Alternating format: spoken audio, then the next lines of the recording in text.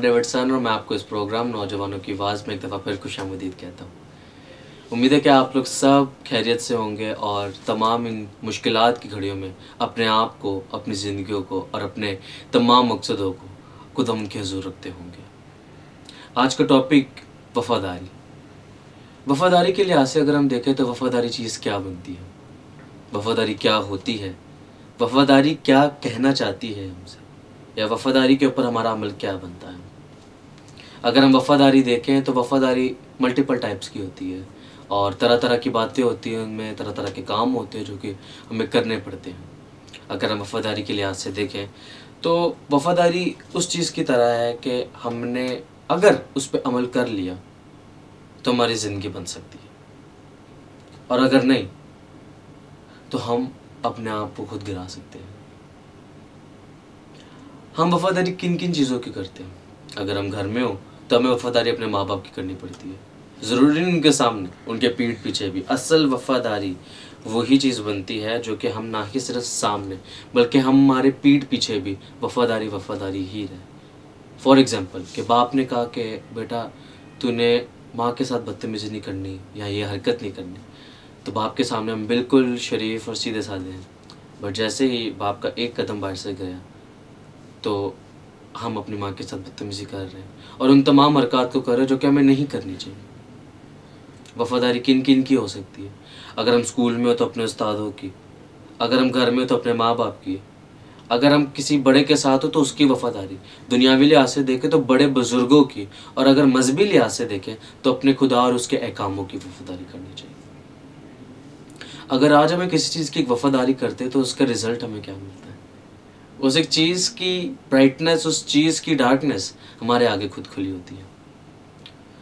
वफादारी उस बीज की तरह है जो कि हम बोते हैं। और हम किसके अंदर अपना ये वफादारी का बीज बोते हैं? एक अमल के ऊपर।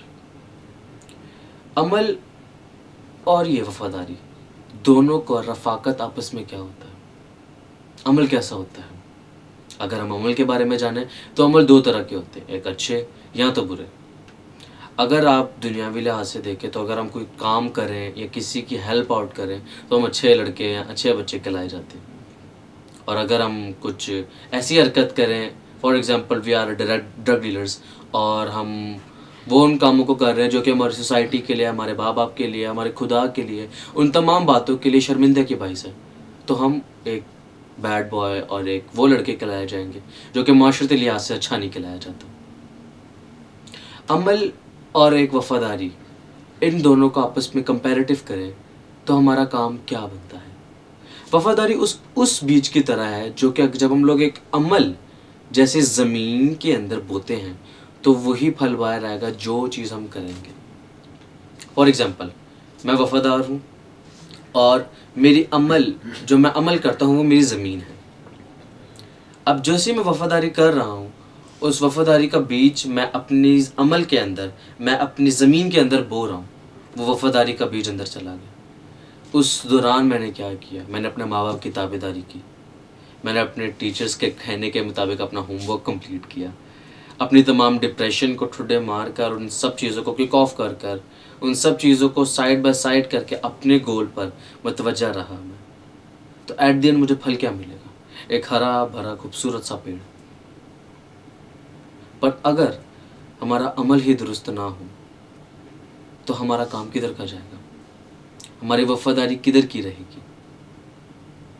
अगर हम अमल के बारे में देखें तो अमल हमसे कुछ भी करवा सकता है। अच्छा भी अमल हो सकता है, बुरा भी अमल हो सकता है। अगर हम रूहानी लिहाज से देखें तो बदन का एक चिराग कहा गया है। बदन का चिराग हमारी आँख होती है। अगर हम आँख से कोई चीज़ देखते हैं अगर हम कोई बदी की चीज़ देखते हैं या वो चीज़ जो कि हमारे जिस्म के लिहाज से, हमारे जहन के लिहाज से, हमारी रूहों के हिसाब से वो चीज़ अच्छी ना हो तो हमारी वो चीज़ वकू पजीर होना शुरू हो जाएगी, वो चीज़ बनना शुरू हो जाएगी और वो चीज़ हमारे ज़ुबान के थ्रू लोगों तक कन्वे हो जाती है। पर अगर हम अच्छी चीज़ देख रहे हैं तो हम अच्छा ही अमल करते हैं, हमारे हाथ पैर काम करते हैं, जैसा हम देखेंगे, वैसा हम करेंगे। आज मैं आप सब तमाम नौजवानों को कहने को हूँ कि वह आपकी वफादारी किधर को जा रही है? आपका काम किधर को जा रहा है? आपकी बातें, आपका अमल कैसा जा रहा है? अगर आप किसी शादी के मॉल में और वहाँ पे नॉर्मल एक टिपिकल शादियाँ का सीन है, कोई शोर गुल्ला नहीं, एक नॉर्मल सा मोमेंटम जा रहा है। फॉर एग्ज़ाम्पल कि मैं पिछले दिनों एक मंगनी पे गया और वहाँ का माहौल बिल्कुल नॉर्मल सा था रस्म रवाजों के मुताबिक सारी चीज़ें हो रही थी इबादत हुई। सबने बारी बारी आके, सब बारी बारी आके लड़के लड़की को मिले। बट एट दी एंड जब वो फ़ंक्शन इख्ताम को जा रहा तो जो दूल्हे की फैमिली थी, वो हमारे पास आई, मेरी पूरी फैमिली के पास। और उन्होंने हमें कहा कि आप कुछ करो, हम, इस माहौल को चेंज करना है। तो जो दूल्हा था, उसने उस गाने को, गाने गाए और बड़े लोगों ने वहाँ पे नाच गाना किया और सारा माहौल अचानक से तब्दील हो गया। कहने का मतलब है कि हमारे एक अमल से हम कुछ भी चीज़ चेंज कर सकते हैं। फॉर एग्ज़ाम्पल कि अगर आप एक मोहल्ले में हैं और एक मोहल्ले में अगर एक घर में लड़ाई हुई है तो आपकी बोली हुई बातें या आपका उस चीज़ के ऊपर रद्द अमल क्या होता है? फॉर एग्ज़ाम्पल कि एक लड़के का गुस्सा आया और उसने एट द स्पॉट वहाँ पे चार फायर निकाल दी वहाँ पे अगर किसी को नुकसान हो जाता तो वो अमल क्या कंसिडर होता आज हमारे अमल हमारे हाथों में होते हैं। आज हमारी तमाम चीज़ें, हमारी तमाम वफादारी की चीज़ें, जैसा हम बीज बोते हैं, वैसा ही अमल जब हम करते हैं तो हमारे पास एक वो दरख्त आता है, जो हम खुद बनाते हैं अपने हाथों से। अगर हम इसी में आगे बढ़ें तो हर एक चीज़ के दो पहलू होते हैं। एक अच्छा और एक बुरा नेगेटिव और पॉजिटिव वफादारी कैसी होती है? अगर हम वफादारी करना चाहें तो हम कर भी सकते हैं। और अगर हम नहीं चाहें तो हम किसी की भी नहीं सुनेंगे। वफादारी इसमें नहीं होती कि हम मुँह पे हाँ हाँ कर दें और पीठ पीछे ना ना कर दें। वफादारी इसमें होती है कि जब भी, जो भी हमें जैसा भी काम करें, वो हम करें। अगर हम इसी के साथ देखें, आगे बढ़ें तो हम कौन हैं? हम एक स्टार की मानते हम एक सितारे की मानते हैं जिसके अंदर से रोशनी निकलनी चाहिए। बट क्या हम वैसे अमल को कर रहे हैं जिससे हमारी रोशनी निकले? या आप सबके सामने क्वेश्चन मार्क आता है? आप सबके सामने एक सवाल रखता हूँ मैं कि क्या हमारे अमल, क्या हमें उस लायक बना रहे हैं कि जिस लायक हम या हमारा खुदा, हमारे माँ बाप हमें बनाना चाह रहे हैं? हम क्या काम कर रहे हैं? हम वो चीज़ करना चाह रहे हैं जिस चीज़ को हम पाना चाह रहे हैं। क्या हमारा अमल वैसा है जो चीज़ हम चाह रहे हैं कि हमारा अमल वैसा हमें करने दे रहा है? या हमारी वफादारी किस चीज़ की है? अगर हम मजबी लिहाज से देखें तो आदम नामी एक शख्स, दुनिया में पहला शख्स जो कि हमारे बाप ने हमारे लिए बनाया इस दुनिया में। उस बंदे ने क्या उस बंदे ने क्या खुदा की, वफादारी की? या वो चीज़ जो खुदा उसे चाह रहा था क्या उसने वो की? आज हमारी वफादारी हमारे हाथों में होती है। अगर हम उन चीज़ों को काम में लाते हैं, या उन चीज़ों को करते हैं तो हमारी हकीकत, हमारी रोशनी दुनिया में चमकती है और दुनिया हमें देखती है। बट अगर हमारा अमल और हमारी वफादारी वैसी नहीं तो वही रोशनी हमें तरीकी की तरफ़ ले जाती है और वही तरीकी हमें डुबा जाती है और हमारी तमाम मास्टर प्लान डूब के गिर जाता है। लोग हमारी डिसेबिलिटी देखते हैं। वो चीज़ें देखते हैं जिस पे हम गिरे हुए होते हैं। बट आप और मैं बट मैं अपनी एबिलिटी देखता हूँ कि मैं किस चीज़ में अच्छा हूँ। फॉर एग्ज़ाम्पल कि अगर मैं सिंगिंग में अच्छा हूँ तो मैं गाऊँगा, खुशी से गाऊँगा। अगर मुझे किसी बात से फ्रस्ट्रेशन है, मैं किसी बात से गुस्सा हूँ तो मैं उस पर क्या अमल करूँगा? मेरा अमल ये होगा कि मैं गाऊँगा, मैं अपने आप को सुकून में लाऊँगा, मैं अपने आप से काम करूँगा, अपने आप को काम करूँगा, ताकि मैं कोई ऐसा अमल ना करूँ जिससे दूसरों को मेरे लिए, मेरी तरफ़ से चोट पहुँचे। जब कभी आपको आपके गोल से कोई चीज़ हटाती है। गिरेंगे। गिरना लिखा है। अगर आप गिरेंगे नहीं तो आपको आपके मकसद का पता नहीं चलेगा। या जो आप कर रहे हैं, आपको उसका नहीं पता चलेगा। आप गिरे। अगर आप गिरते भी हैं तो आपने खड़े होना कपड़ों को झाड़ना खड़े होना आहिस्ता फिर से दौड़ पकड़े। अपनी बॉल को अपने पैरों तले लें और फिर से अपने डिफेंडर्स को चीर फाड़ के भागें। Because you deserve to be shine आप बने ही इसलिए हैं कि आपका नूर दुनिया में चमके, ना कि गठे या आपका नूर तारीकी बनने नहीं, नूर बनने आया है। आप नूर हैं। हम बाइबल के हवाले से देखें तो कलाम में भी दो तरह से क्या आ गया कि तुम दूर, दुनिया के नूर और नमक हो। जब नमक का मज़ा ही जाता रहेगा तो वो पैरों तले को चला जाएगा। आप नूर नहीं, आप नमक हैं। आप वो चीज़ हैं, आप वो चीज़ बने जो कि आपका खुदा आपके लिए चाहता है। आपके मकसद आपके सामने हैं, आपके गोल्स आपके सामने हैं। जब अपने मकसदों के लिए सही नहीं खड़ा कर पाते तो हम अपने काम को उस तरतीब से नहीं रख पाएँगे जिस तरीके से आप चाह रहे मोटिवेट योर सेल्फ आज हमने अपने आप से बात करनी है और अपने आप को कहना है कि नहीं, अगर हम कुछ गलत कर भी रहे हैं तो अपने आप को उस चीज़ में दुरुस्त करना है। फॉर एग्ज़ाम्पल मैं आपके सामने एक छोटी सी बात रखता हूँ कि जब आप गुनाह करने को या कुछ ऐसी चीज़ करने को होते हैं तो पहले पंद्रह सेकंड तक ना आप अपनी होश में होते हैं। कलाम में लिखा है कि मेरी बेड़े मेरी आवाज़ सुनती हैं। वो भेड़े कौन होती हैं? वो भेड़े वो होती हैं जिनको खुदा ने कहा था कि मेरे हुक्मों पर अमल करो।